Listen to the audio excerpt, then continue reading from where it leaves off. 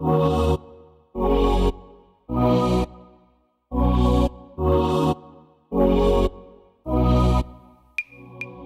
Hey guys, welcome back to the channel. So today I'm starting a series in response to a couple of the questions that I get, uh, specifically around swimwear photography and how do I go about preparing. I think there's a lot of knowledge in terms of how to use a camera. There's a lot of knowledge on YouTube in terms of how to pose, but there's not a lot of information in terms of how to prepare. Some of the things that you should be doing in order to elevate your work and come out with very predictable results, which is really what I'm into. So if that's the kind of content you like, then I encourage you to hit that like button and definitely subscribe to the channel as I'm gonna be putting out a series of videos around this process.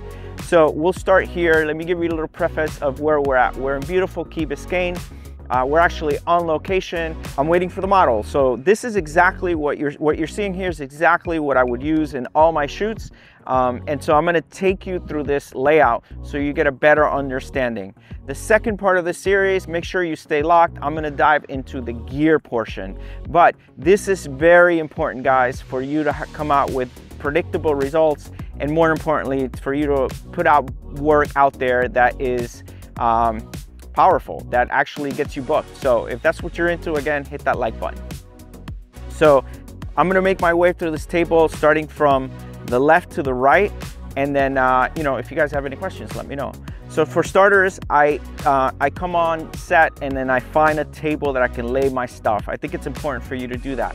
Now, the unfortunate thing about putting down stuff on tables, as you can see, this is a picnic table, is that this thing has little grooves, you know, it's made out of wood. So what I do is I always put a towel down. This is important because if you put anything like a ring or jewelry, any kind of jewelry or anything small, you know, it, it's probably it's less likely to fall through and then fall in the sand where nobody would notice it. Here you can actually lay down your stuff uh, and then you know don't be afraid that you're not going to find it later. So let's let's start with the bottom. A very plain towel that you can bring. Usually I like to bring either some sort of neutral color or a, a white one. White is always preferred specifically because when you're done with it you can just throw in the wash, put a little bleach and it's perfect. Uh, but uh, one of the things I always, always carry uh, to all my shoots is this Sunbounce. And what this guy is, is a changing tube. And I'm gonna go ahead and link all of this stuff down below. Um, what this guy allows you to do is you open it up and your model can get in there and you just kind of hold it up and then she can get in there and she can get dressed. The advantage of this is of course that she doesn't have to go all the way out there. In some of these locations, there's no bathrooms. Um, she doesn't have to be holding a towel and kind of trying to change herself. Um, this is actually a very private tube that you, all you're doing is holding it for her and then she can go ahead and change and comfortably uh, go on about her business. So this is essential for any shoot where you're on location and you just wanna make sure that you know, they don't have to go too far to change. This actually can take place right here. We can change, she's out, and then we can start shooting. So I'm gonna link this down below. I forgot what this is called, but this is by Sunbounce, sunbounce.com. I'll link them down below so you can get yourself. This is probably one of the most expensive products. I think it runs for about $100, but it, it just becomes an essential part of your swimwear shoot kit.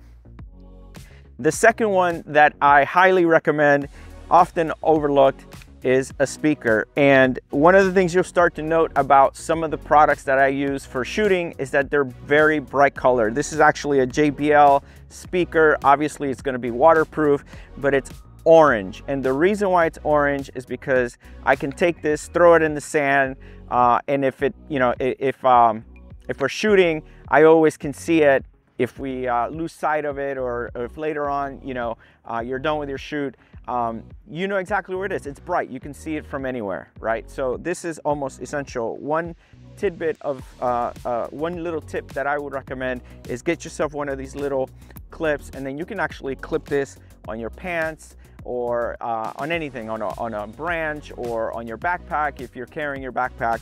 Um, this is essential for me because music is very important as part of any shoot. So grab yourself one of these, highly recommend it. I'll link it down below. Moving on, another essential part of any shoot for me and the models is hydration. Guys, I can't stress this enough. we're gonna be out here for two to three hours. So it's important that you bring some water uh, or anything you need to stay hydrated. I always bring my own bottle of water, but I also carry a small Yeti cooler with small bottles of water for the models. It is essential, it's crucial that you stay hydrated, that you drink plenty of water, and uh, you're comfortable. Again, this is all fun, but it can turn really quick if you're dehydrated or you're just starting to get lightheaded because you're not drinking enough water. So um, if you can, I recommend Yeti bottle. These bottles are reusable. You can throw them in the dishwasher if you want, uh, and they last forever. You, you know, I, I, can put water in here with ice and it'll be cold for a few days. So I recommend these guys, couldn't stress enough. Uh, the other cool thing is, just like I did with this clip here, you can actually get a bigger one, put it here, and then just kind of put this anywhere uh, and clip it. So it's kind of out of the way, but again, it's essential. So I recommend it. This is a Yeti water bottle. Um, another essential tool for me is ensuring that I'm protected and that my crew is protected. And one way we do that is by wearing these shirts that are SPF 50 and basically they're breathable. It's a breather, breathable material. You can get it wet. Uh, you know, once you're done, you can throw it in the wash, but they do come with hoods. So when you're out in the sun, you can actually put on this hood and it covers your neck. You can see me, I'm wearing a hat, I'm wearing sunglasses, um, but also you can you can lower the, the sleeves if you need to. These are fully down to your waist. I'm wearing shorts. Um, so I'm just in the element, but I'm also protected. So I encourage you guys to pick some of these up for your next shoot. Uh, mine are all red and that's more of a brand recognition thing. If anyone's out here and they see a photographer and, the, and I'm wearing a red shirt, it's probably Marco. It's one of those things that I started implementing. It's worked. Um, so I encourage you to try it. Um, but make sure you get some of these. I'm gonna put them down below. If you have any questions, let me know. Um, the other one is making sure that your skin is protected. And for me is having sunscreen. So I carry two uh, two little bottles of sunscreen, once for the body and once for the face. I make this I, available to everyone that's here. My The model, the crew, anyone who's here. If I'm working with a model, an assistant, I make sure that I remind them to keep applying sunscreen. Guys, I can't stress this enough.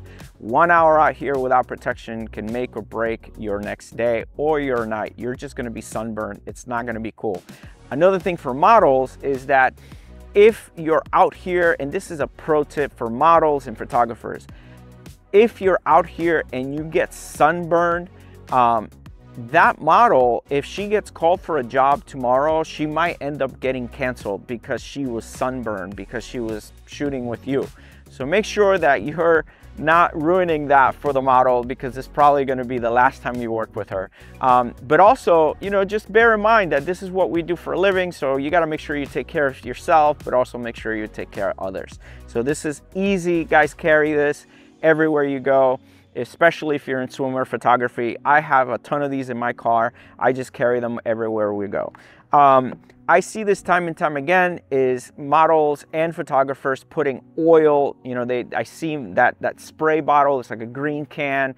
I've seen people using that. Listen, that stuff looks fantastic, but in my opinion, um, it can get really, really messy really fast. Um, the worst thing that I've seen is people using olive oil, olive oil or um, baby oil. You know, you're putting oil on your skin, when you go out into the sun, that's just gonna amplify the sun rays hitting your skin. You are literally cooking your skin. It's not gonna be a good look at the end of the day. I encourage you to stay away from it. But if you have to put a little bit of oil, use sunscreen. You get a SPF 30, apply it. All you're looking for, remember, is that little bit of shine on the skin to make it look like it's glimmering. If you need to add a little bit more glimmer, I use this body bronzing uh, um, product that looks phenomenal. It puts a little bit of shine on the hair, uh, sorry, on the skin, and then you can apply sunscreen on top of it. So this is a phenomenal. It gives that body that nice little glow. Uh, you just gotta make sure you apply it evenly, but I'll link it down below if you're interested in grabbing one. If absolutely at the end of the day, for example, you're shooting sunsets that last 30 minutes of the day and you're losing light and you have no other option and you have to go for the oil, I highly recommend you get some, yourself some argan oil. This is actually pretty good for your hair and your skin. Um, and it's natural. So I recommend you try this out. It also doesn't get messy for some reason. Um, you can apply it and then quickly dry your hands and go on with your shoot. So argan oil is the oil that I would recommend for the skin. And again, I'm gonna link this down below. Moving on, let's get to the fun part because you're probably wondering what all this stuff is here. We'll start with uh, I'll start with telling you that, guys, if I'm testing or if I'm doing a model development shoot, I style all my shoots. If you're portfolio building, if you're a photographer and you're portfolio building, I encourage you to style your shoots.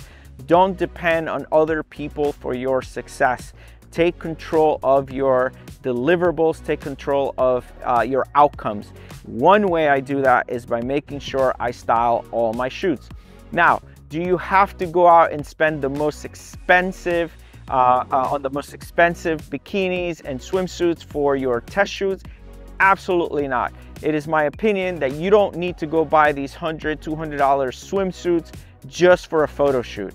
Um, trust me, you're gonna put them up, you're gonna tag the brand and they might reshare it, but it's very unlikely that you're gonna get a call. There's a whole nother process you should follow and I'll talk about that as part of this series to make sure you're getting hired.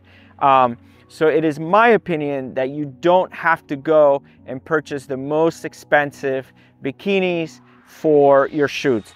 I'm gonna show you a couple of suits that are expensive uh, and those are because you know those are clients of mine um, or or brands that have actually just sent me product but I'm gonna show you some suits that I've created images with and I'll show them here um, with Amazon suits. Guys, these are 20 $30 suits that are getting the job done. If it's for a picture, no one can tell the brand. What they look at is the body, the positioning, and the last thing they'll probably look at is that suit. So all of these suits right here are Amazon. These are $30 suits.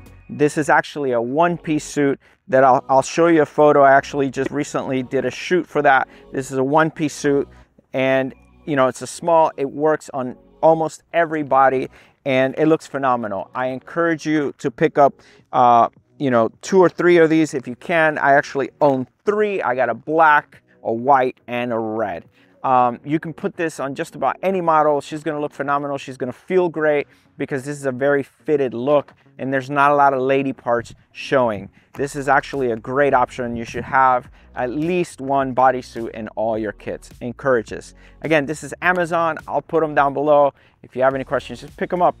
Um, it's not gonna hurt. Again, you're controlling your outcomes by doing this.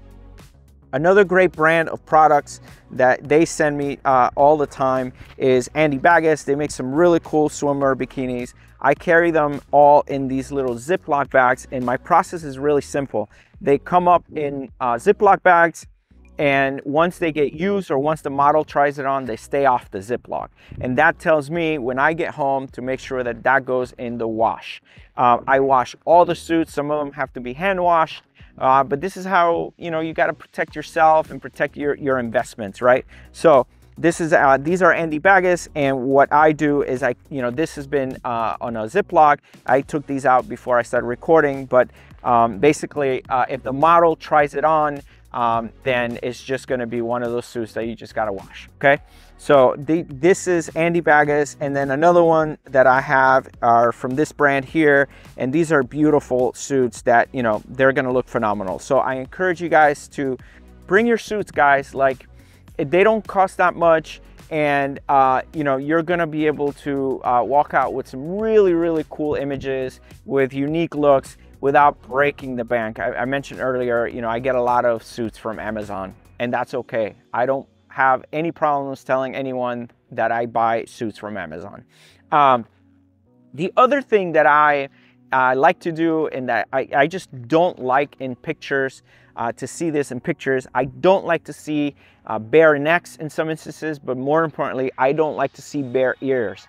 So for me, it's important that I have jewelry because I, again, as, as I mentioned with the suits, I don't want to rely on the model to bring anything. I just need the model to show up and make sure she has her best attitude and she's feeling great and I'll go ahead and style the rest. Um, the rest is really, I leave it up to myself. So one of the things I like to do is I like to buy earrings and this is all from Amazon. This is not gold, of course, um, but you get you can get packs like this on Amazon for like $20. Very inexpensive. I buy them in silver, I buy them in gold color. Uh, now, one thing that you need to do is similar to the suits, if the model tries on uh, an earring, actually goes through her ear, make sure that you separate it and then you clean it with alcohol when you're back home. So uh, make sure that if a model tries it on, that you actually, uh, you know, separate it and put it out uh, for, for alcohol cleaning later. And again, you see, these are little packs that showed up uh, that I bought on Amazon. And that way, you know, if the model comes up with, with, you know, shows up on set with nothing, no earrings, no jewelry, nothing, I got it, you know? And this is, again, how I can control my outcomes. Pretty, pretty easy, 20 bucks, you won't regret it. And again, make sure you clean them up. Uh, kind of digging through here, you start to see that I carry a lot of other uh, Ziploc bags with, with bikinis and things like that. There's more jewelry. Um, and then another essential thing that I do, a lot of the work that I do is a little bit more on the edgy side. So maybe the model is gonna be kind of, you know, grabbing and covering. She might be doing like an implied look. Buy these pasties. I encourage you to buy uh, um, covers for the girls and making sure that the girls are not out exposed, right? So I encourage you to buy these pasties. You can get them in nude color, you can get them in black. Uh, you know, it depends on the look that you're going for, but you can get them small, large, you can get them as an X, however. Um, I just keep it simple. Uh, sometimes I'll, I have both. I get black and nude, and then you can actually come out here, just cut them up and give it to the model. She can apply it. And then, you know, if, if you're shooting and, you know, she moves her hand and something comes out, you know, she doesn't have to worry that, you know, her parts are out there, right? You're, you're making sure that you're being uh, a professional and that your model is being protected. This is often overlooked, um, but you'd be surprised how comfortable people will get when you're making sure that they look their best, but also are protected. So I encourage you to do this. I'll put these down linked below. Guys, uh, for a swimmer shoot, this is pretty much it. I like to keep it simple. Oh, I carry everything in a tote bag. I'll link this bag down below. I think I paid maybe like $15, $20 for this bag. Um, the cool thing about it is that, you know, when you put things, they're probably gonna track some sand. You can just kind of shake this off and everything comes off and that way you're not tracking all this stuff in your car. Um, but for my swimmer shoes, that's pretty much it. I bring towels, I bring water, I bring speakers for music, I bring my styling, I bring jewelry, I bring protection, I'm protected. And then the last thing is just have fun, making sure that your model looks great, making sure you uh, are you know, just giving them a really good experience out here on the beach and just come out here and make epic shots. That's all I got for today. I hope you enjoy the first. The next one, we're gonna talk about uh, the gear I use for my swimmer shots. So stay tuned for that one. And until the next week, peace.